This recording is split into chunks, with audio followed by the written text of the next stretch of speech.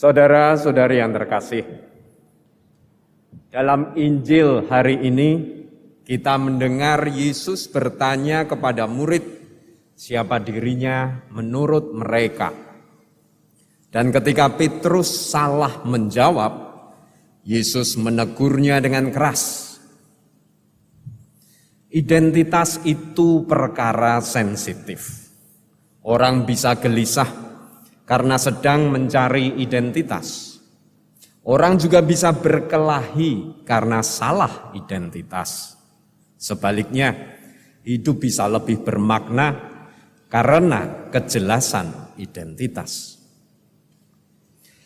Ketika Pater Jenderal Pedro Arupe meresmikan berdirinya Provinsi Indonesia Serikat Yesus, ada kebanggaan karena identitas Indonesia ini diakui.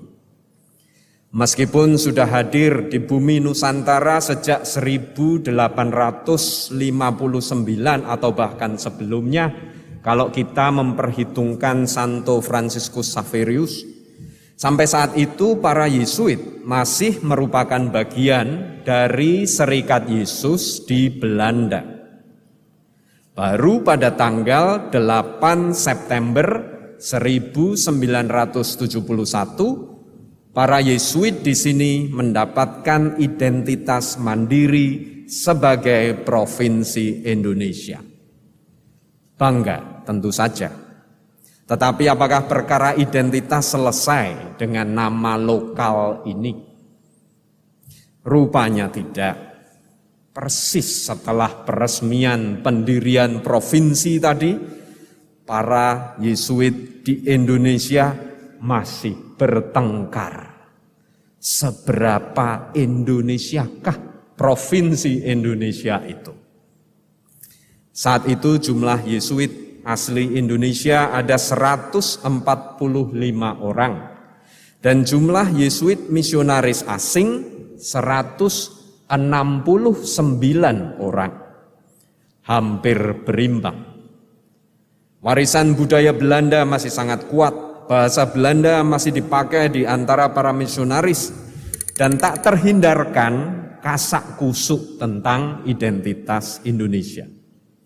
Kita bisa menangkap kekhawatiran tentang identitas ini dalam surat yang ditulis oleh Romo van Burgens di Internos, majalah internal Serikat Yesus pada bulan Mei 1974. Bunyinya demikian. Dalam Internos kerap kali kita membaca soal-soal Indonesianisasi. Akan tetapi kerap kali juga kata-kata yang kurang tepat digunakan dalam karangan-karangan itu yang menyakiti hati kami. Kata-kata seperti tenaga asing, tenaga full time, kuli kontrak dikerjakan untuk beberapa tahun. Gereja bukan perusahaan dengan tenaga luar negeri dan tenaga pribumi. Tenaga luar negeri yang hanya ditolerir dan digunakan seperlunya. Apakah dengan tulisan seperti itu kita tidak membentuk suatu polarisasi yang tidak perlu dan merusak cinta kasih antara kita? Kebetulan Romo Workens saat menulis surat ini bertugas di paroki Ambarawa dan setahun kemudian beliau membaptis saya sebagai bayi. Identitas bukan hanya tentang siapa, tetapi juga tentang apa yang dilakukan. Petrus mungkin benar ketika mengatakan bahwa Yesus adalah Mesias, tetapi dia salah memahami apa yang harus dilakukan oleh Sang Mesias. Dalam 50 tahun terakhir, Serikat Yesus juga kadang-kadang bingung menempatkan diri di tengah masyarakat Indonesia yang dinamis. Salah satu kebanggaan Serikat Yesus di masa lalu adalah karya Institut Sosial yang menanggapi persoalan kemiskinan dan ketidakadilan. Dalam suatu pertemuan yang panas antara provinsial saat itu yaitu Romo Putranto duduk di ujung sana dengan para aktivis institut sosial di bulan Oktober 1991. Salah satu aktivis protes. Bunyinya begini. Awal IS didirikan terutama bergerak dalam bidang penelitian. Sekarang lain. Bagaimana dengan kontinuitas? Karena ini menyangkut kami juga. Mana tanggung jawab serikat Yesus? Di sini hanya ada seorang Romo yang menjadi direktur. Kehadiran Romo memiliki arti simbolik yang penting. Tapi kami tidak sekedar bekerja pada IS, Institut Sosial. Dan juga tidak sekedar melaksanakan obsesi SY. Tetapi kami berpartisipasi dalam cita-cita, pandangan, dan spiritualitasnya. Mesias ala Petrus itu seharusnya dieluk-elukan, disembah seperti raja, membebaskan bangsa Yahudi dari belenggu penjajahan Romawi. Akan tetapi Yesus justru menekankan sebaliknya. Mesias itu harus menderita, memanggul salib bahkan mati. Konsekuensi dari mengikuti Yesus yang rela mati ini memang tidak main-main dalam konflik seputar jajak pendapat dan kemerdekaan Timor Leste atau Timor Timur tahun 1999,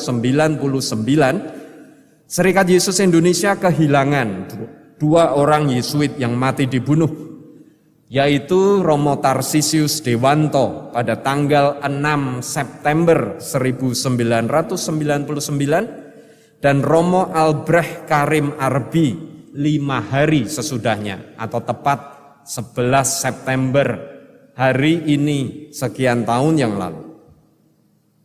Ketika kekerasan meletus menjelang dan sesudah jajak pendapat itu, sebenarnya para Yesuit ditawari untuk mengungsi dan meninggalkan Timor Leste.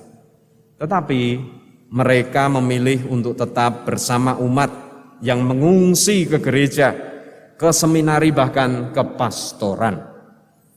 Frater Bagus Laksono yang waktu itu bertugas sebagai pamong siswa di SMU Santo Yosep menggambarkan saat-saat genting itu. Mulai jam 8 pagi, tembakan sudah mulai membabi buta. Pagi hari itu segera timbul isu lagi bahwa SMU Santo Yosep akan dibakar siang harinya oleh milisi besi merah putih. Isu ini membuat banyak pengungsi takut dan akhirnya pergi entah ke mana. Saya sendiri waktu itu terus mengamati keadaan di jalan. Saya mencurigai sebuah mobil Toyota hardtop merah yang berisi beberapa milisi Aitarak. Kelihatan mobil itu mau masuk ke SMA. Tetapi karena pintu gerbang terkunci, mereka membatalkan niatnya. Tetapi mereka datang lagi dan memaksa meloncat pagar SMA. Waktu itu Romo Edu Ratu Dopo juga melihat gerak-gerik mereka. Romo Edu langsung menyongsong mereka dengan langkah berani. Saya mengawasi Romo Edu dari belakang. Saya waktu itu cemas sekali. Kalau-kalau milisi itu akan menghabisi Romo Edu. Murid-murid saya sudah lemas begitu melihat Romo mendekati para milisi itu. Mereka memeluk saya erat-erat sambil menangis. Tapi ternyata para milisi itu masih sangat sopan dan hormat pada Romo Edu. Mereka malah menangis dan memeluk serta mencium tangan Romo Edu. Itu bunyi catatan harian Frater Bagus Laksono yang hari ini ada di antara umat. Keterlibatan para Yesuit dan rekan-rekan awam dalam peristiwa jajak pendapat di Timor Leste, reformasi 98 serta konflik di Aceh dan Ambon di mana Yesuit Refugee Service bekerja, semuanya merupakan konsekuensi mengikuti Kristus yang rela memanggul salib di bumi Indonesia. Terus terang saja mengenali Yesus sering terasa lebih mudah dalam situasi-situasi krisis seperti itu. Akan tetapi, memanggul salib tidak selalu berarti menderita secara fisik. Kita kenal orang-orang yang setia bekerja dalam sepi, hidup mengabdi ilmu pengetahuan. Romo Sukmulder, Romo Kuntoro Wiryo Martono, almarhum keduanya, menekuni naskah-naskah Jawa kuno hingga akhir hidup mereka.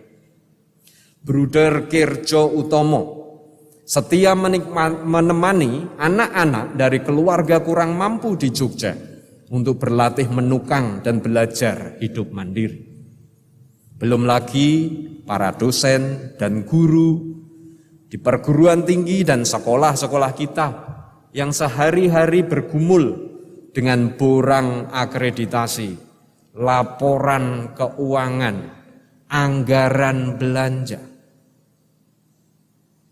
Saudara-saudari yang terkasih, perjalanan mengenali wajah Yesus di tengah gereja dan masyarakat Indonesia memasuki babak baru tahun ini di usia provinsi yang ke-50 yang terjadi bersamaan dengan peringatan 500 tahun pertobatan Santo Ignatius. Pesan utama dalam peringatan-peringatan ini adalah pertobatan, perubahan hidup. Lalu perubahan macam apa yang dituntut oleh Allah dari para Yesuit? Bacaan pertama dari surat Rasul Yakobus tadi memberi kita petunjuk yang terang benderang. Kesatuan antara kata dan perbuatan, antara iman dan tindakan. Serikat Yesus tidak ingin hanya jadi pabrik kata-kata. Kita ingin punya integritas dan itu dimulai dengan kemauan untuk rendah hati. Kerendahan hati itu ibu semua keutamaan.